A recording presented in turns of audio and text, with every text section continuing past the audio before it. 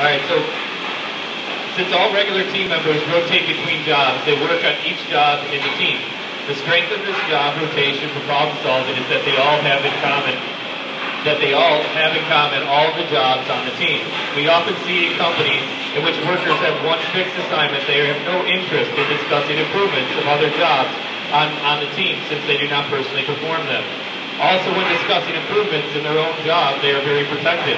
This is my job, and I am the expert, so no one suggests, no, no one should suggest, how I should improve it. The subtext of this message is, I like my job because it has some easy elements, and I do not want you to mess it up, mess that up, and add work to my job. With job rotation, there's a high level of interest in discussing all aspects of the jobs in the team, and we rarely see this kind of protectiveness.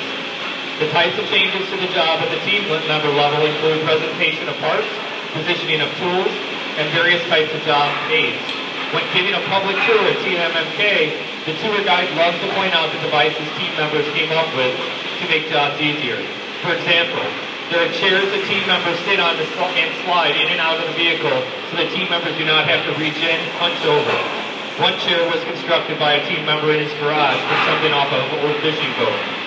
There are flatbeds on wheels to lie down on the side on, and slide in and out of the bottom of the car. It is obvious team members enjoy line stops when in the reclining position.